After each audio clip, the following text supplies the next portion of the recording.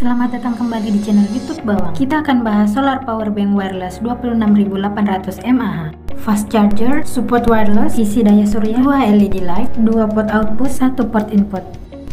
Untuk spesifikasinya sendiri yaitu solar panel, wireless charger, dan juga center. Untuk senternya sendiri ada tiga mode on. Yang pertama ada normal, kedip cepat, dan juga kedip lambat. Memiliki dua port output dan satu port input. Kita coba pengecasan dan di sini on charging to port output. Di sini untuk handphonenya saya menggunakan iOS yang support wireless dan untuk Android juga bisa jika udah support wireless ya. Untuk pengisian daya surya maka LED-nya akan berwarna hijau seperti ini. LED indikator, tombol nyala dan mati, tombol center, pengisian daya wireless, dan pengisian daya surya. Thanks for watching, see you next video. Thank you.